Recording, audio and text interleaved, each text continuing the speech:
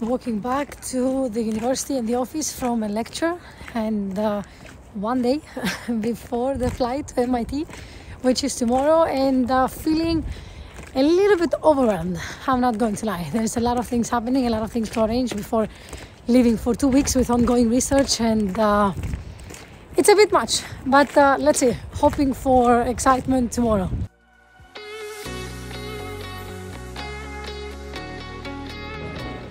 T minus zero because I am boarding the flight as we speak.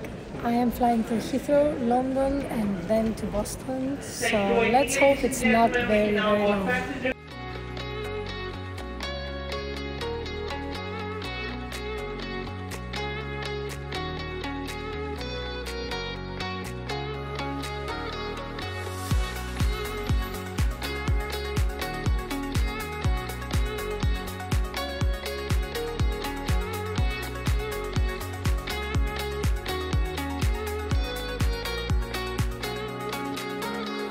We've made it. We are in Boston.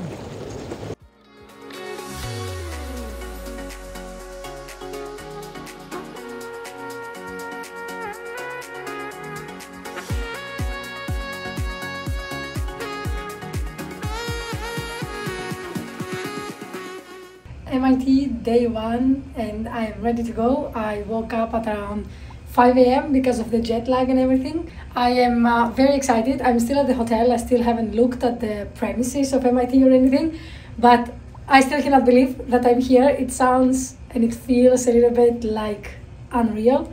I had the picture of MIT on my vision board since almost two years now, and uh, it's actually happening. I'm here. I'm going there in a few minutes. I will keep you posted. Let's go together.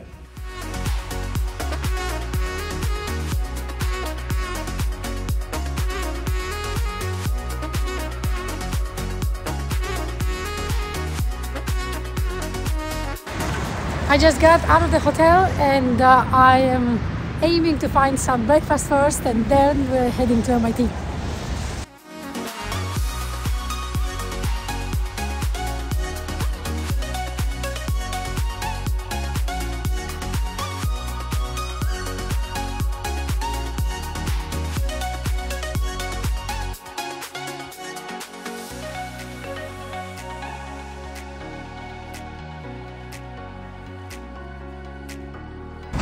Have arrived, people. This is the, I believe, the most kind of famous building one can see in the on Google, but probably we are on the other side of it. But yeah, it says it, Massachusetts University of Technology. So here you go. I am on my way to the student building to pick up my access card.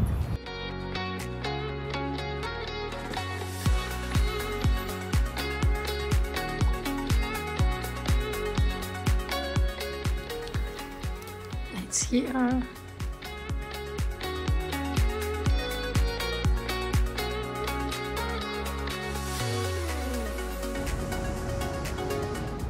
Ah! We have arrived. I am here.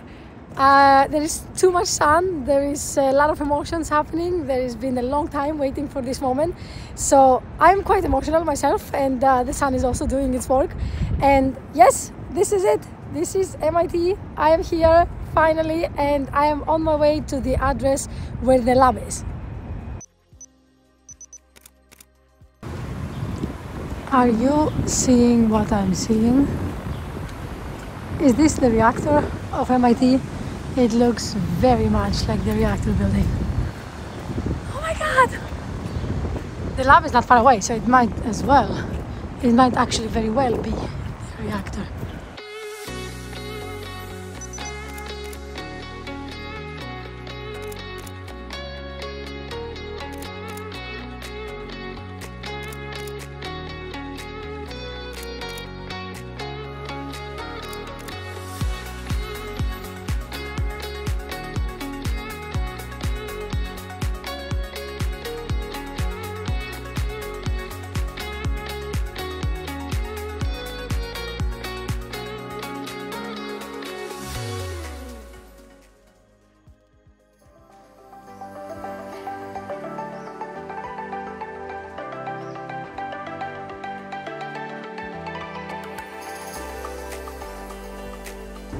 Hello everyone, uh, good afternoon.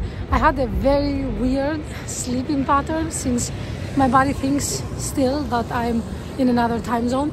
Um, but here I am, finally after 2 p.m. made it out of the hotel room and going to explore Boston a little bit.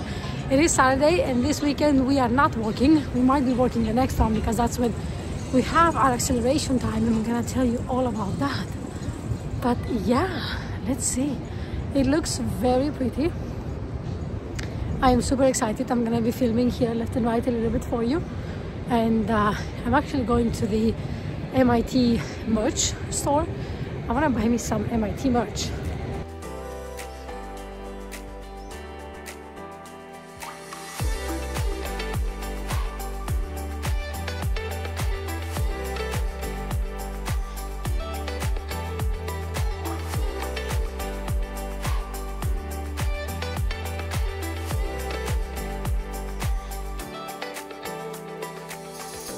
Merch heaven.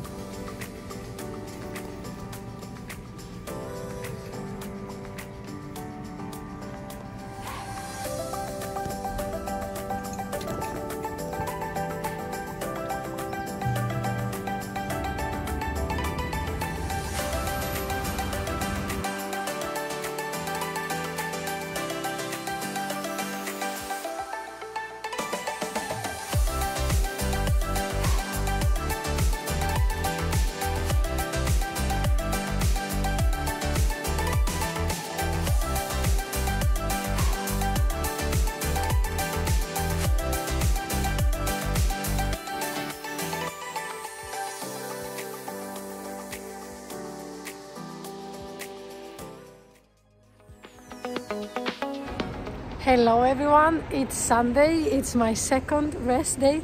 And again my sleep was a bit on and off but I'm exploring a bit more of the campus and actually trying to find something to eat and I think we found it.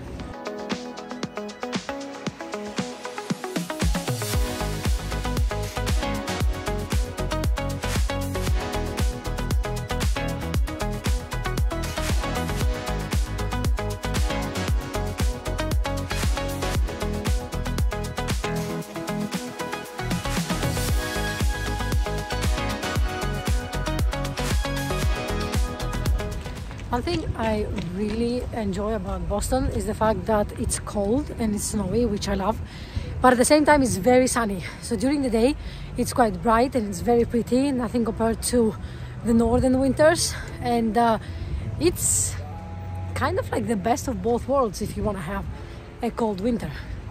So this is quite awesome. I ate my pizza and it was delicious and slightly big uh, like every portion in the US is. But uh, I am walking and I'm going to explore some uh, areas and I'm gonna take you with me. There's uh, no nuclear related stuff today because it's Sunday and we're starting strongly and aggressively tomorrow morning because the time zones really don't work with me. So my first meeting tomorrow starts at 7 a.m. and my second one at 8 and then I have to be at the lab by 9. So let's see how that goes. It is so pretty. There was a snowstorm warning last night, so this is water and there is ice and there is snow and it looks fabulous. I love it. So this is a quiz for you. How many phases of H2O do we have present in this frame? Go ahead, comment in the section, comment section down below. I'm still on the bridge. It's so very pretty. I need to keep walking. It's gonna get dark with the pace I have.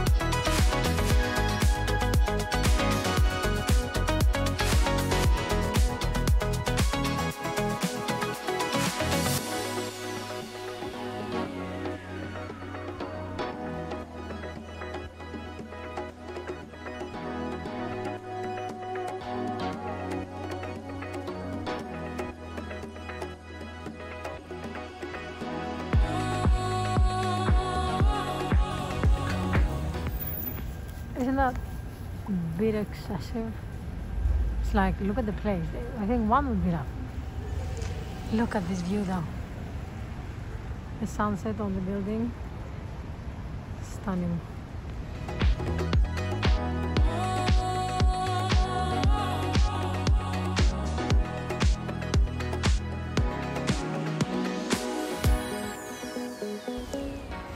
It's so pretty. I am at the park. Forgot how it's called.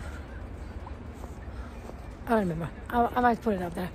And I'm actually walking on water. This is frozen water. and uh, I'm walking on it. And the reason I know it's water is because I'm an engineer. No, I'm kidding. It's because I can see that there's a bridge there that I'm gonna cross under. So I would assume this wouldn't be just a pathway and they would build a bridge over it. Never seen this place not frozen, so I don't know. But I assume, oh, I found it, it is water. This is proof that I'm standing on ice. This is the bridge. Beacon something, I think is this park. It's quite the pretty one. The sun has set. People are walking on water just because they can. And so do I. It's pretty cute here.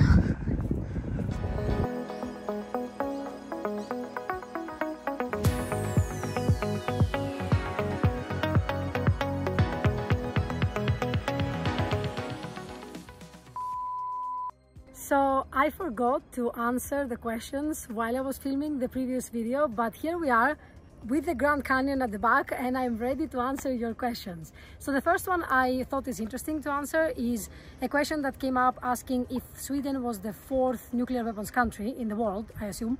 And that really depends on what you mean by nuclear weapons country. Sweden had a nuclear weapons plan uh, that was never really materialized. They built a reactor called Ågesta reactor south of Stockholm, which operated at around 60s and 70s.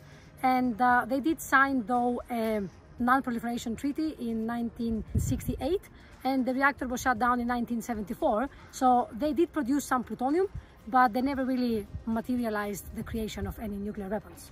So the next question is how much of the energy produced by nuclear power is used for the processing of uh, the uranium itself from mining all the way to fuel and then disposal.